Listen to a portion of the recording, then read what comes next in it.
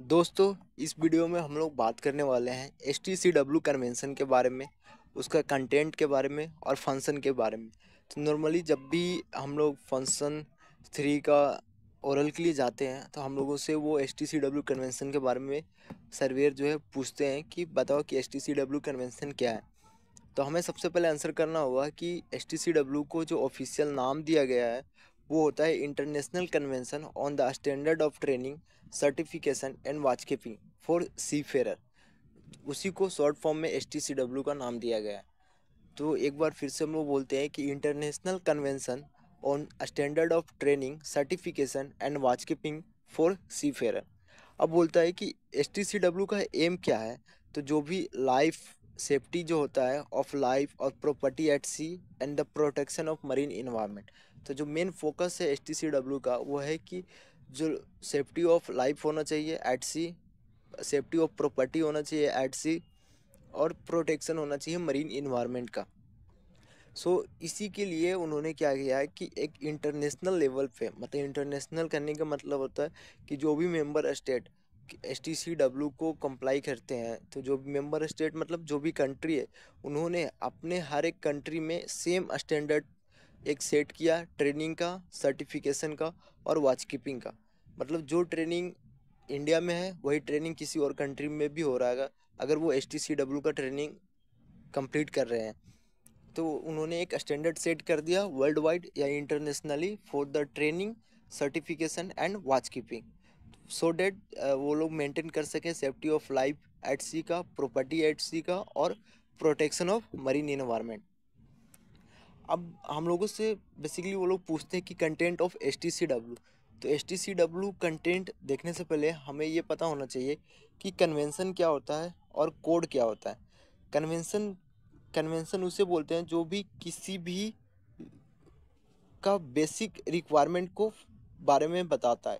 Convention करने का एक ही मतलब होता है कि वो एक ट्रीटी होता है between the number of country के बीच में जो कि बेसिक रिक्वायरमेंट को वो लोग आउटलाइन करते हैं। बट अगर कोड हो गया तो कोड कहने का मतलब होता है कि जो भी बेसिक रिक्वायरमेंट कन्वेंशन में लिखा होता है, जो भी आउटलाइन किया जाता है कन्वेंशन में, जो भी बेसिक रिक्वायरमेंट्स है, उन लोग उसी बेसिक रिक्वायरमेंट को जो कोड है वो इनलार्ज करता है और एक्सप्लेन करता है इन कोड मतलब जो भी हम लोगों को बेसिक रिक्वायरमेंट अगर हम S T C W convention की बात करते हैं इसमें जो भी कन्वेंसन में जो बेसिक रिक्वायरमेंट्स है उसको उन्होंने S T C W code के थ्रू इनलार्ज किया है या एक्सप्लेन किया है वो हम लोग बोल सकते हैं।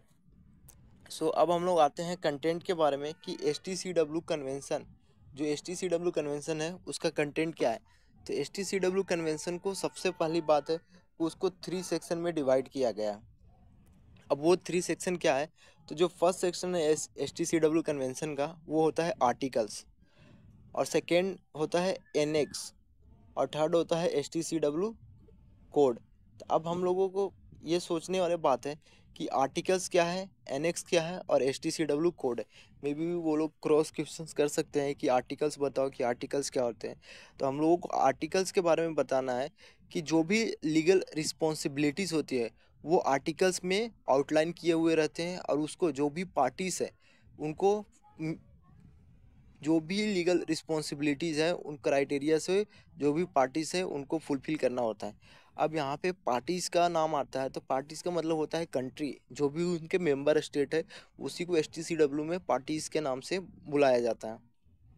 अब सेकेंड जो सेक्शन है, उसके बारे में बात करते हैं एनेक्स तो एनेक्स क्या है कि जो भी लीगल रिस्पॉन्सिबिलिटी आर्टिकल्स में लिखा हुआ है, उसी का जो टेक्निकल डिटेल्स होता है, वो एनेक्स में उन्होंने आउटलाइन किया हुआ है। तो आर्टिकल्स में सबसे पहले उन्होंने लीगल रिस्पॉन्सिबिलिटीज़ दी, फिर एनेक्सेस में उस लीगल रिस्पॉन्सिबिलिटीज़ के लिए जो भी टेक्निकल्स डिटेल्स होते हैं, उन्होंने एनेक्सेस में डाल दिया। अब थर्ड सेक्शन आता है S T C W convention का, वो है S T C W code. अब कोड में क्या किया उन्होंने कि इन डेप्थ जो भी टेक्निकल्स डिटेल्स है, उनके बारे में इन डेप्थ स्पेसिफिकेशन दिया। किसके through S T C W code के ज़रिए। कोड का मतलब ही होता है कि वो इनलार्ज करता है या एक्सप्लेन करता है। तो वही बात है कि जो एनेक्सेस में जो भी टेक्निकल डिटेल्स है, उन सबों को उन्होंने S T C W code में एक्सप्लेन किया हुआ है। या उनको ऐसे डायरेक्ट बोल सकते हैं कि H T C W code specified technical detail in more depth simple. अब बात करते हैं हम लोग S T C W code के बारे में। तो अगर S T C W code को देखेंगे तो इसको दो पार्ट्स में बांटा गया है। एक है पार्ट ए जो कि मैंडेटरी होता है, और पार्ट बी है, जो कि रिकमेंडेड है। पार्ट ए मैंडेटरी इसलिए है क्योंकि उसमें सारे जो भी स्टैंडर्ड है, उसको आउटलाइन किया गया है। और पार्ट बी एक गाइडलाइंस है, इसलिए उसको रिकमेंडेड है। सो so, एक बार फिर से रिपीट करते हैं हम लोग कि S T C W code को भी टू पार्ट्स में डिवाइडेड है। पार्ट ए होता है मैंडेटरी क्यों मैंडेटरी है क्योंकि उसमें सारे स्टैंडर्ड को आउटलाइन किया गया है। और पार्ट बी क्यों रिकमेंडेड है क्योंकि वो सिर्फ़ गाइडलाइंस है। अब आते हैं हम लोग list of chapters of S T C W मतलब एस टी सी डब्ल्यू में कौन कौन से चैप्टर है? तो एस टी सी डब्ल्यू में टोटल एट चैप्टर है। एस टी सी डब्ल्यू में टोटल एट चैप्टर्स है। अब चैप्टर वन जो है जनरल प्रोविजंस है।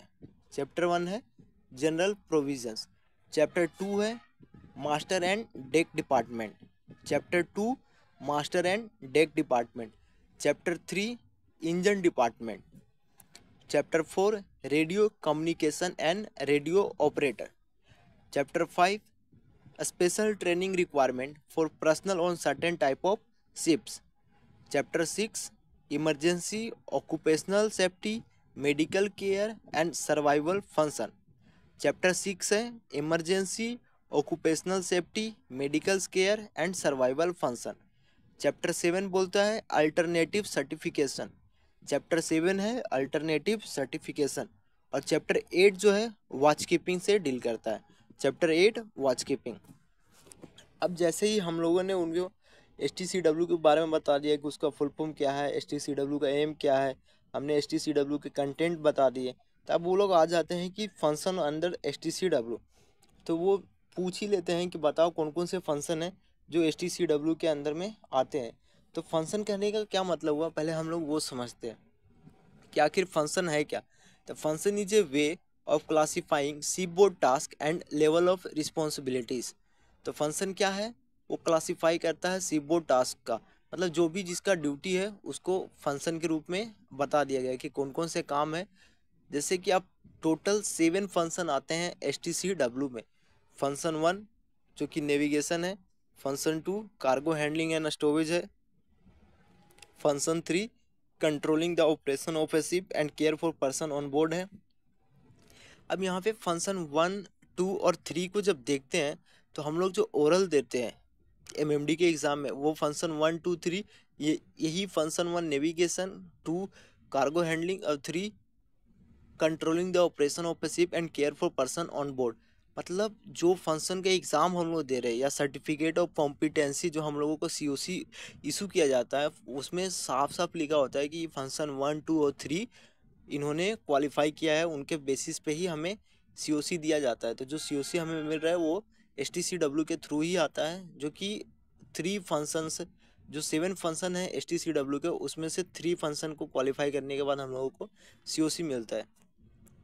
अब फोर जो फोर्थ फ़ंक्शन है मरीन इंजीनियरिंग फिफ्थ फ़ंक्शन है मेंटेनेंस एंड रिपेयर और सिक्स फ़ंक्शन है electrical electronics and control engineering और सेवेंथ फ़ंक्शन है रेडियो कम्युनिकेशन तो एक बार जो फ़ंक्शन है उसको फिर से हम लोग रिपीट कर लेते हैं कि फ़ंक्शन वन क्या होता है? नेविगेशन। फ़ंक्शन टू होता है cargo handling and stowage function three होता है control of operation of ship and care for person on board. Chapter function four है marine engineering. Function five, maintenance and repair. Function six, electrical, electronics and control engineering है। Chapter seven है radio communication. अब हम लोग बात करते हैं एक नॉर्मल अगर मे बी अगर वो पूछ लिया तब, ऐसे पूछते तो नहीं है नॉर्मली अब अगर पूछ लिया कि एस टी सी डब्ल्यू जो होता है when came in existence S T C W आया कब? तो जब सेवेंथ ऑफ़ जुलाई 1978 को, सात जुलाई 1978 को एस टी सी डब्ल्यू जो है एग्जिस्टेंस में आया मतलब एडोप्टेड तो अगर वो हम लोगों से पूछते हैं कि when S T C W is adopted तो हम लोग आंसर करेंगे सेवेंथ ऑफ़ जुलाई 1978 अब बोलता है वेन केम इन फोर्स मतलब कि कब से वो लागू किया गया? S T C W when came in force तो ट्वेंटी एथ ऑफ़ अप्रैल 1984 अट्ठाईस अप्रैल उन्नीस सौ चौरासी से एस टी सी डब्ल्यू है इन फोर्स अब तब से लेकर के 1978 से अभी 2023 है। इसके बीच में डब्ल्यू के दो ही अमेंडमेंट हुए एक 1995 में और एक 2010 में। तो जो 2010 है, उसको मनीला अमेंडमेंट के नाम से भी हम लोग जानते हैं। अब मे बी वो क्रॉस क्वेश्चन कर सकते हैं कि 1995 में क्या अमेंडमेंट किया गया था। 2010 में क्या अमेंडमेंट किया गया था एस टी डब्ल्यू कोड में। इसमें जो बेसिक दो दो, तीन तीन पॉइंट भी हम लोग डिस्कस कर लेते हैं कि 1995 के अमेंडमेंट्स में जो भी टेक्निकल एनेक्सेस थे, उन सबको इन्होंने क्या बना दिया?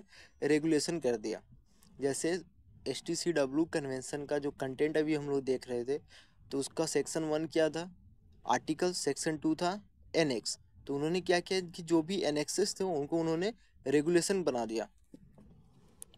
अब हम लोग बात करते हैं जो सेकेंड पॉइंट है कि parties to the convention provide detailed information to IMO concerning administrative measures taken for compliance with the convention बोलता है कि आईएमओ ने बोला, जो भी इनके पार्टीज़ है पार्टीज़ कहने का मतलब क्या? वो सारे कंट्री जो कि उनके member states S T C C W के। तो उन सारे पार्टीज़ को बोला गया कि आप प्रूफ उनको आप सारे पार्टीज़ को बोला गया कि आप प्रूफ जो है वो आईएमओ को सबमिट करो कि आपने क्या एडमिनिस्ट्रेटिव एक्शन लिया कि आप जो है से S T C W convention से कंप्लाई कर रहे हैं। तो उसमें this was the first time when the I M O called on implementation and compliance but normally flag state and port state तो वही बोला जाता है कि 1995 में वो फ़र्स्ट टाइम था जब आईएमओ ने डायरेक्टली सारे पार्टीज़ को बोला कि आप इसके लिए डॉक्यूमेंट्स आपने जो भी एडमिनिस्ट्रेटिव एक्शन लिया कि आप कंप्लाई कर रहे एस टी सी डब्ल्यू से, वो सब आईएमओ को सबमिट कीजिए। तो जैसे ही वो आईएमओ को सबमिट करेंगे, जो भी काउंसिल है फिर वो सेक्रेटरी जनरल को सबमिट करते हैं। फिर तब जाके सेक्रेटरी जनरल जो होता है, वो जनरल असेंबली को सबमिट करता है। फिर वहाँ से बोला जाता है कि आपके जनरल असेंबली फिर इशू करती है कि ये ये पार्टीज़ हैं जो कि एस टी सी कंप्लाई कर रहे बट नॉर्मली जो कंप्लायंस था, वो फ्लैग स्टेट का था या पोर्ट स्टेट का था?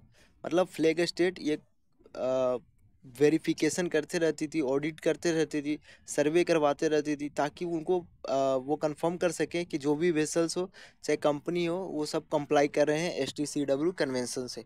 और जब भी वेसल किसी पोर्ट में जाता था तो वहाँ का जो पोर्ट स्टेट कंट्रोल है वो इंस्पेक्शन के ज़रिए वो कंफर्म करते थे कि जो वेसल जो है वो कंप्लाई कर रहा है S T C W convention से।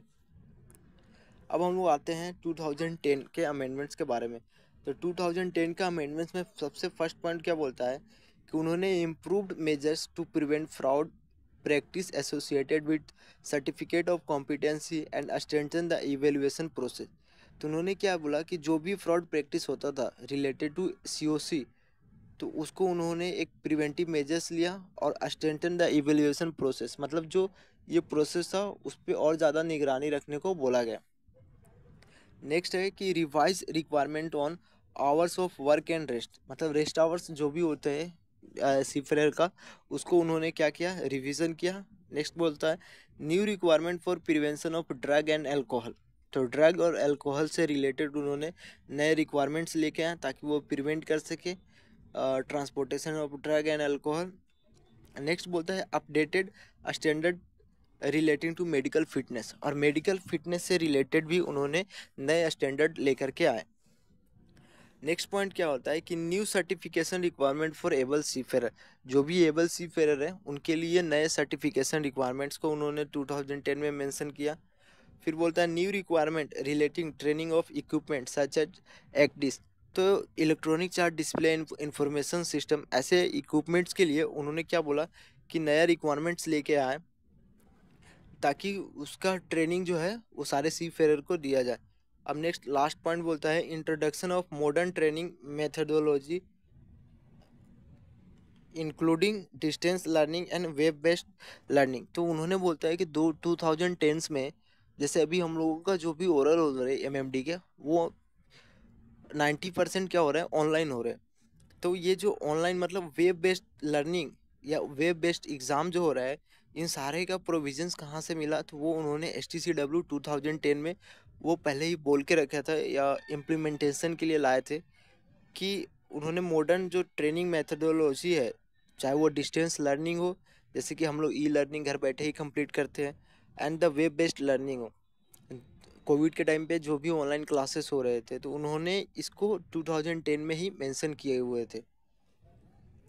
अब इसमें एक पॉइंट सिर्फ़ डिस्कस करेंगे लास्ट कि अगर हम लोगों से पूछा गया कि जो आवर्स ऑफ़ रेस्ट आवर्स है, उसको उन्होंने कैसे डिफाइन किया है? तो एस टी सी डब्ल्यू में रेस्ट आवर्स बोलता है कि आप किसी भी सी फेरर से in a period of twenty four hours not more than fourteen hours हम लोग काम करवा सकते हैं या कर सकते हैं।